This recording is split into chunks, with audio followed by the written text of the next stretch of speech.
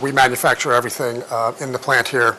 Um, everything that's sold in our retail store is made here, um, and it's made fresh. So, so you know, we don't have a lot of shelf life here. Um, everything is made seasonally or by the week to week. And people are most amazed at the amount of product that gets manufactured in such a small space, and the fact that we have no inventory, that everything that we make gets shipped the same day.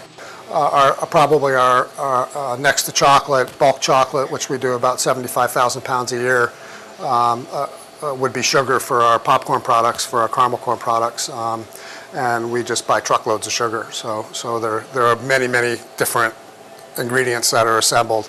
Um, all in all, we probably ship out a couple hundred thousand pounds.